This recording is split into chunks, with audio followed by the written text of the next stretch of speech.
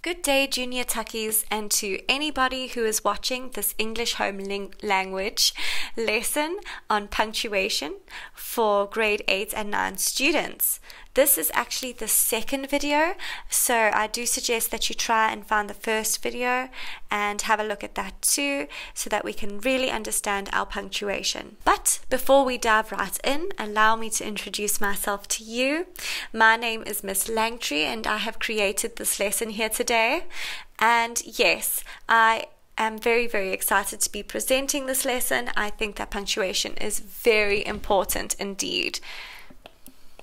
As mentioned previously, um, as we can see from our table of contents here, we have actually covered up to here. So we have done the first four punctuation symbols on our to-do list. Oh gosh, that is a that one's better, yes. and today we are going to be doing the um, from the colon all the way down to the hyphen. So if you don't have a notebook and a pen out as of yet, I do strongly suggest that you do so and you write down some basic rules which are going to help you with pretty much every sentence that you are going to be writing for the foreseeable future. No pressure. Right, so the first rule which we are going to be looking at today is the colon. Now, this is a punctuation mark that is essentially two dots in front of one.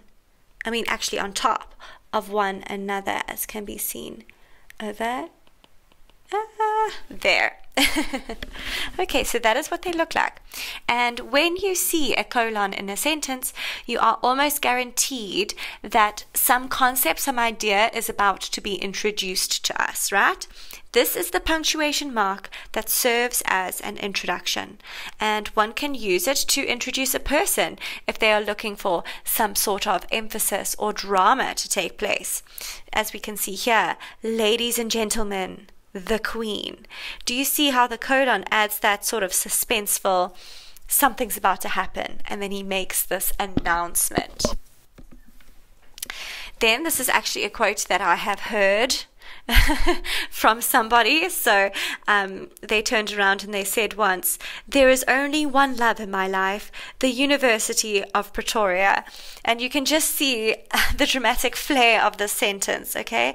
Only one love in my life. You can't get much more dramatic than that. And that's why a colon is so appropriate here, because it allows for that pause, it allows for that suspense to to grow. Who is this person's love of their life?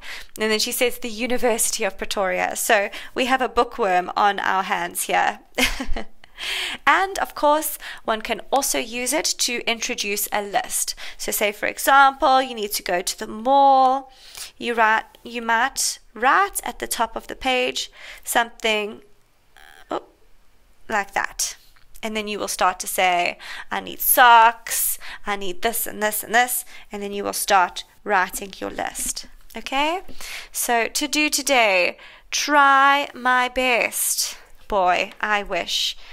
I wish that was the only thing on my to do list. But at the end of the day, it really is the only thing on our to do list. So if you're here and you're busy trying to expand your knowledge, then you are definitely, definitely doing really, really well when it comes to trying your best. Anyway, so this symbol therefore allows for something to follow. If you see it, something is about to follow. It can be used for emphasis or introductions of some sort. I actually have been using colons throughout this slide, so we naturally see them.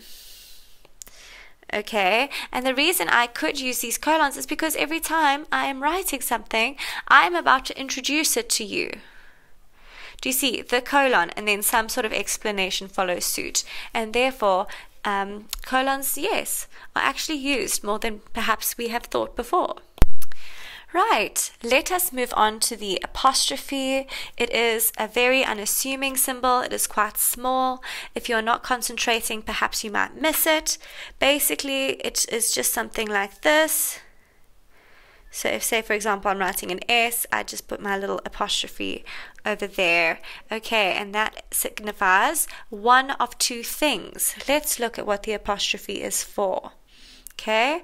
It's got two purposes either omission or possession. It's a good idea to write these two words down, okay? Um, I say this because they often do say, What is the purpose of this apostrophe? And now you must be able to say, Well, it's showing possession, and you kind of explain why. So, yes, please do write these two main words down. Let us have a look at what omission means. Right. When we speak, we often leave certain syllables out of sentences to help it flow a little easier. We are all humans. When we start talking and we start talking quickly, sorry, I keep on I keep on expressing with my hand and my pencil keeps on hitting my microphone. That must be extremely loud for you. I do apologize. Um, but when we start to express ourselves really quickly when we're talking to our friends, certain syllables by that I mean certain beats in the sentence do fall away. And we can reenact that through our writing. And let me show you how we can make that happen. So instead of saying, Is it not cold outside? Okay, I don't see us chatting to each other like that on a normal day. What we could say is, Isn't it cold outside? Okay, take a close look at the formal language here and take a closer look, okay, at the fact that we said ISN apostrophe T, pronounced isn't, and we managed to reenact this more long winded a group of words. I can't think of the correct terminology, but yes. Okay, so basically, the purpose of an apostrophe is to make sure that certain letters are replaced, but it's not the end of the world. Okay, so here I am. I am removing certain letters as you can see on the slide here. Okay, and then ISNT with an apostrophe is now good English once again. Okay, so that is how the apostrophe can be used. I hope that you all understand that. Okay, let's have a look here. Isn't it quicker than to just say, is it not? And the apostrophe helps this to happen. Examples of where omission can take place include wouldn't, okay, previously would not, Okay? Couldn't, could not. Shouldn't, should not. Do you see the pattern here? They merge. The apostrophe kind of signifies, yes, these two words have merged. And yes, certain letters are gone. And so I'm just going to pop an apostrophe in there and be forgiven. Okay. Um, won't actually means um, would not or no, it wouldn't. It would mean will not. Will not. Can't um, I cannot. And there, should we take a closer look at this there? Okay, and there, they are. So, oh, where is Henry? They're over there would be said like so, will be written. They're over there. Okay, so this, they are, they actually sound the same okay?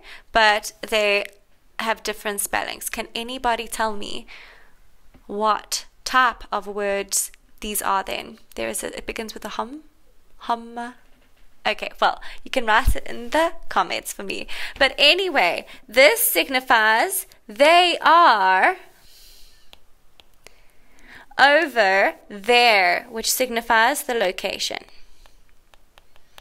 Same words, different spelling. Okay, and then there's obviously the third one. Whilst I'm on this tangent, there is actually possession. Right, so, oh, it is their doll. Okay, shows that the doll belongs to them. Those are the three theirs. I understand you didn't ask for that, but you got it. Enjoy. right, then the next way in which an apostrophe can be used is for possession. Okay, so let's have a look at our notes and see if we can understand everything that is being said to us. Sorry, guys, there we go. Okay, so An apostrophe helps the reader understand the ownership of something. It signifies who is in possession of the object. So let's have a look at our example over here. The cat's the cat's food. Okay, notice the apostrophe. Then the cat's food. Okay, the apostrophe is before the S in this case and after the S in that case. And it's crazy how such a tiny line can make all the difference. Let's unpack this further. Here, the apostrophe is helping us understand the relationship between the cat and the food. It is the cat's food, so hence we read this and understand ownership. The apostrophe also helps us to see that there is either a singular cat or multiple cats who possess the food. Okay. If the apostrophe is before the S, then it indicates singular ownership. If you haven't written anything down yet, it's fine, but write this down. Okay? If the apostrophe is found before the S, so it goes like so. There's your apostrophe there. Okay, it's equals singular. Okay, you guys must get in the in the habit of summarizing what you see on the screen. I know that a lot of people at your age want to write everything word for word, but you can't okay? You need to start to learn how to summarize how to see how you can sort of make your notes really compact okay? So if you haven't written anything just write cats apostrophe s and definitely circle highlight that apostrophe and then say this means it's a singular cat okay? It's the cat's food just one cat's food okay?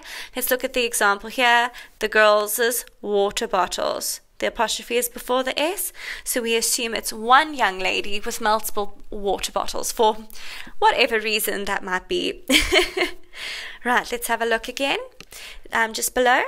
If the apostrophe is after the S, this signifies that multiple subjects have taken ownership of the object. For example, the girls' water bottle. Okay, now it's multiple young ladies who are in possession of these water bottles. Okay, and in the cat's case, the cat's food, there's definitely more than one cat now. Okay, perhaps they're referring to the SPCA where they hopefully have a room for, full of lovely cat food for our little cats and dogs who might be going hungry if it wasn't for them. Okay, so Let's quickly look at a different rule. Um, this is a rule where lots of people um, make a mistake. So let's have a look at the bottom here. If the name already ends with an S, the apostrophe has to go after the S, even if the possession is for a singular person. Okay? It is tempting to go like so. Oh, these are Chris's water bottles. Um, no, that is just clumsy. Wouldn't you agree? Okay, far better to get rid of that S, but when you say it, you do say, This is Chris's water bottles. Okay. Or should it actually, these are Chris's water bottles. Okay. And so that is the rule. Even though there's one Chris, we don't have a bus of Chris's.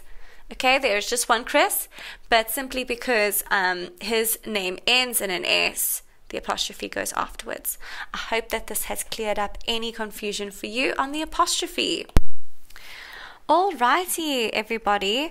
Now we are going to take a look at what are called inverted commas, commonly known as direct speech marks or speech marks or something like that. And what it essentially means is when you are writing and you want somebody to say something, or if you're directly quoting what someone has once said, you need to use these bad boys over here. Okay, you need to use some inverted commas. So, say for example, someone in your story is just staring at you and saying, Again? I'm not sure what you did, but I think they're a bit tired of it. Okay? You want that to be in direct speech. You would then put these little brackets around it, like so. Okay? And you can choose. You can choose to do it like that, or you can choose to simply, let me just remove them to just do one. Okay, but we will get into more details about the inverted comma now. But essentially, yes, that is what inverted commas do. Okay, so let's start reading. When writing, it is often a good idea to add dialogue from the characters and to have them speak directly. Okay, so that's these are the punctuation marks associated with that. And the reason why dialogue is so good is because this adds a sort of lightness to the story and helps the reader see more into the way in which a character can articulate their thoughts. And if you're quoting from someone else, it just helps the reader take a break from what you're trying to say and trying to, to gain sort of different perspectives. And in that way, it kind of just gives them a more holistic experience when reading. Okay, so, but how do we punctuate a direct quote? So, here are the steps which we need to know. Okay, you surround the quote with the direct speech marks or the inverted commas so that the reader understands what is said. Okay, what is said and what is being narrated, not directly from the person's mouth. Okay, note who is talking so that's the, you must always sort of indicate who is speaking, all right? Note who is talking and try to use the right adjective. No, sorry guys, it's not an adjective, it's a verb. Okay, to describe how the sentence is said. So let's go back to again over here. Okay, so again how would this have been said? How could we indicate the tone? We could say, um, Tori sighed and said, again, or um, Tori bellowed, again. Okay, so you just have to kind of sometimes get creative to help us to help us understand as the reader how these sentences are said okay? If, if English is not your favorite thing in the world, you don't have to say, you know, Tori whispered again. You could just say, Tori said again. But you can see from our point of view why the more creative your sort of verb that you use to indicate how things are spoken can add some flavor to your story. Okay, I hope you follow.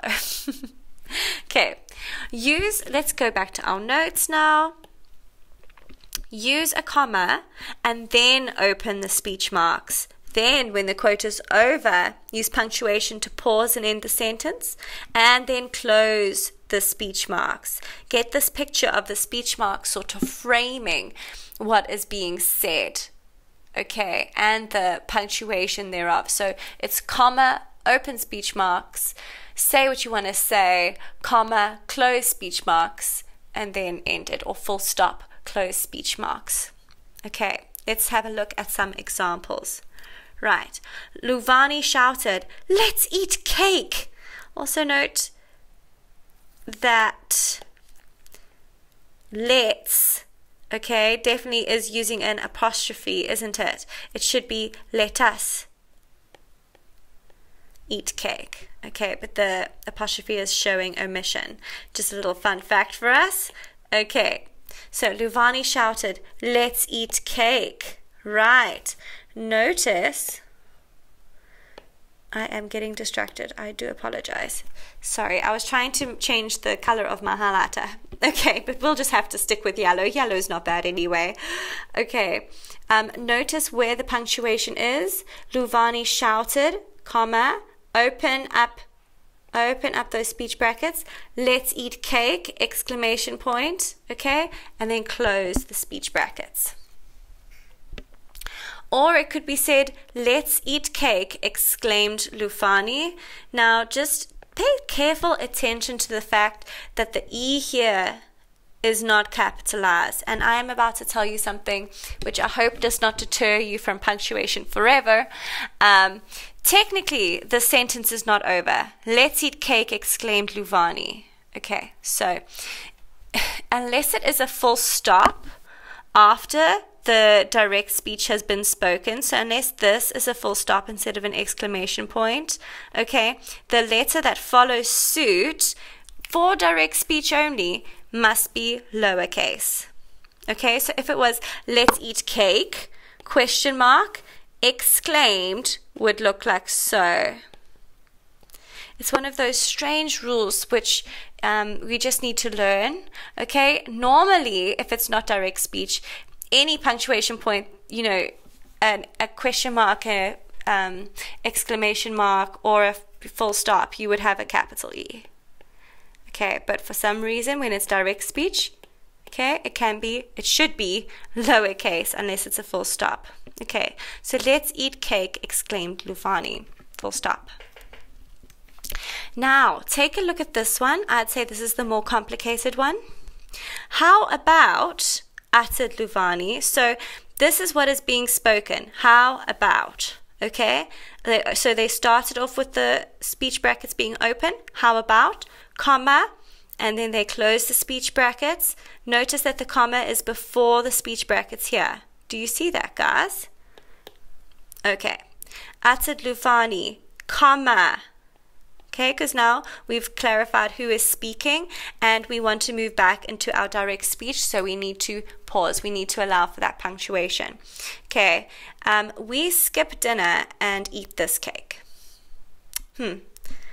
Luvani, you make some choice decisions, if that makes any sense. okay, let's look at our third example.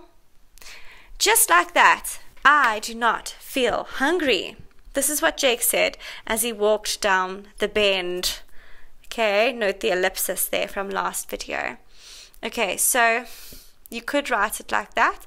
Was still explaining that Jake is the one who is speaking, but we left the direct speech like so. Okay, I hope that this has clarified some things for you. Here we are going to start tackling quite a common um, question that people ask, and that is okay, so we can use either the sort of double double speech marks as can be seen here. So one two inverted commas and then you close off the speech with another two converted commas. Or do I use this one one inverted commas? When do I use which? So the rule is you are allowed to use either a single speech mark or two when using direct speech. Okay, it's no problem, but you need to be consistent. Okay, so technically over here, if we look over here, it says, Could you help me? asked Sandra, and could you help me? begged Sandra. Main difference being this one uses one and this one is using two inverted commas. If you can see, both are considered correct. Okay, however, firstly, you need to be consistent. If you start with one speech bracket, you should also end with one. You cannot use two in the beginning and one at the end, and vice versa. Okay. Um, could you help me? whispered Sandra. This would be considered incorrect because here, like I said, the inverted commas do not correlate. So make sure that they do. Also, make sure it correlates throughout your piece of writing. If you are going to be using, well, the, the general rule is if you're quoting, just use one. And if you're actually, you know, performing some sort of dialogue, then you should use two. But if you are going to use one, be consistent and use it throughout your piece of writing. Okay. If you are writing, so I'm here now, guys. If you are writing in direct speech, so someone is directly speaking, whereby the speaker is quoting another, use the double speech marks first and the singular speech marks within this quote. For example, so this is when you say, okay, but what if what if I'm now talking and as I'm talking, I'm talking about someone else. So now I've got all these speech brackets flying everywhere. The general rule is start off what that person is saying with the double speech marks. Okay, that sounds incorrect, but yes, with two um, inverted commas. Then, as you go along and you are now quoting again, you use your singular inverted commas within the direct speech and you close everything off. You frame the entire part of speech that was said with the double inverted commas once again. Let us see an example of that over here. Tandy stated, Today I remember a quote from Nelson Mandela which says that education is the most powerful tool with which we can change the world. Surely we can keep quiet in class then. Quiet. Oh my goodness. Okay, Could not quite. quiet. Let's keep quiet in class then. Okay, so do we see here? Okay, we use the double speech marks to frame the entire um, sentence, and when she starts quoting another person, we use the singular inverted comma. Do you see? I hope that this adds some clarity. Now we are going to move on to a really, really helpful symbol, and that is the question mark. Okay, this is a punctuation mark seen over here. All right, and it is seen when you are asking a question, when a question is being posed in one way or another. Okay, when someone is searching for an answer, in a sentence. It is the question. It helps to look for a question for question words. So such as who, what, where, how, and when. If you see these questions, I mean, if you see these words, chances are someone is asking a question, okay? But that's not necessarily the only time someone is asking a question, okay? Have a look at these examples. Are you really going to eat that? Is that seriously all you have to say on the matter? So, when someone is clearly seeking clarification and they're asking a question, you pop that question mark there. Okay. Now we are going to move on to the exclamation mark. It looks like so. Okay, this is what an exclamation mark looks like. Let me draw one on the side for us. Right, it is a line and a dot. Okay, and this is a punctuation mark which needs to be associated with strong emotion. Right, a punctuation mark is used to emphasize that strong emotion is being used. One is not simply talking calmly when an exclamation mark is being used. Even if it says something like, John whispered, Get out of there if there's an exclamation mark, he is he is still whispering, but he's saying it like with extreme emotion. Do you understand what I mean? Like get out of there. Okay. Instead of just, oh come on, get out of there. Alright. So they really do add a lot to the sentence. It shows the intensity of the situation. So have a look here. Please be quiet. Please be quiet has different connotations. It has a different feeling to please be quiet. Okay. Do you see that? I am so happy I could cry as different as differently Oh, sorry. I am so happy that I could cry is read differently to I am so happy I could cry. I think that we need to add in the punctuation here. So, I am so happy that I could cry, full stop. Okay? Or, I am so happy I could cry ellipsis. Three dots in a row. Okay? That trail off means maybe she's not being genuine. I am so happy I could cry. Dot, dot, dot. It does leave some suspense in the room. But it's read differently too. I am so happy I could cry! Exclamation point. Okay, they are exclaiming this for one reason or another. It can be used for positive emphasis or negative emphasis. Okay, let's have a look over here. When you see words such as demanded, exclaimed, cried, yelled, etc., you can note that an exclamation mark is to follow, particularly um, with demands. If you are learning a second language, if you are seeing an exclamation point or it says Mama demands pick up the rubbish. You need to know that you need to put an exclamation mark there. Okay, she is not just saying it, she is either yelling it or she is fiercely um, saying the sentence with emphasis. She's got a lot of strong emotion for one reason or another. Okay. However, exclamation marks can be used whenever you want others to understand that the emotional connotation surrounding the sentence is strong. That is your exclamation mark, everybody. Use, do not abuse. And you can only use one in a sentence, okay? In terms of, um, don't do this where you put three in a row. Please do not do that. okay, we get it. The, it's a strong emotion. You just need to use one. Let's move on to brackets. Brackets look like so. Okay, and then you have your information in the middle, and then you close them like so that is what a bracket is for. And the reason for these symbols, okay, which look like so, not great with the pen yet, um, is that they add extra information which is not absolutely necessary. It's often some kind of quirky detail that we couldn't quite justify adding into the main sentence, okay? But those details really do help us to paint a mental mental picture as you are writing. Okay, it often helps the reader to see the narrator's character and it adds depth to the sentence. Okay, so let's have a look at some of our examples. Oh, I did one at the bottom here just to kind of show you how the added information can take place. Mrs. Kolisi, previously terrible at gymming, is now a yoga instructor. It just adds that extra context, and it's a bit of like a cheeky comment as well. So kind of add it into the brackets, like, oh, by the way, and then you carry on with your main sentence. Let's look at some other examples over here. Is everyone with me? Okay.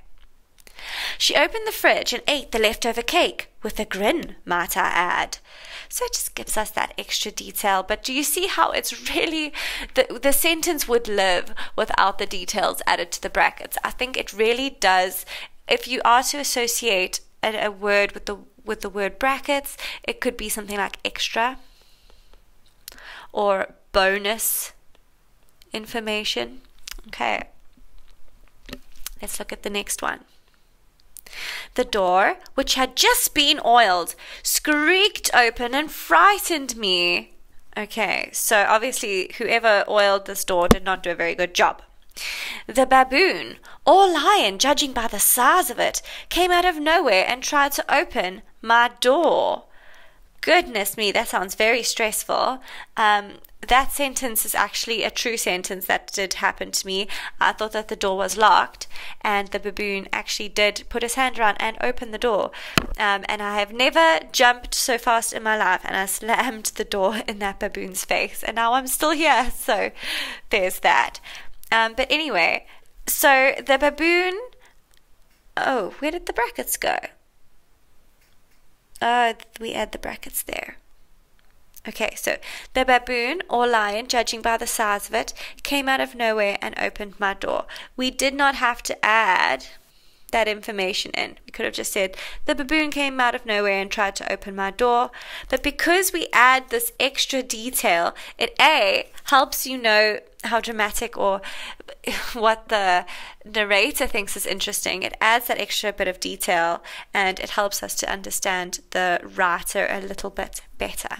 So that is the point of brackets. Right, next up we have the dash, and it is a singular, relatively long line okay, that you can find in the middle of the line. So note how it sort of falls, if I was to follow the line of this dash, to the middle, okay, of where the letters would, would be placed on the line. Okay, so what is the point of this little line? Well, a dash can be used to indicate a bit of a pause, kind of they're often used when, say, a character is mid sentence or a narrator is mid sentence and then, whoop, suddenly something just happens and it's that kind of instant pause. Okay, so let's have a look here. It's going to be legend, wait for it, dairy. I'm not sure if any of you understand the reference, but anyway, to be legendary is um, something that we all strive for, of course. So it's going to be legend, wait for it, dairy. It just kind of adds a very light sort of pause to your sentence. Okay, so then there's also this one here. I was going to hang on, but are you okay? Okay, so kind of that, that pause, perhaps something happened, whereas the person had to trail off and change the subject quite quickly. Or it's like, um, I was going to hang on, but then they notice something different and they go, Are you okay? So they kind of change the subject, and you can notice that brief pause with the dash, okay? It can also be also go before you start listing or pausing for emphasis. Right. So uh, personally, I prefer if you're going to start a list that you use a colon, which you can use it to make lists, and also you can use it for that brief pause. Um, as said yesterday.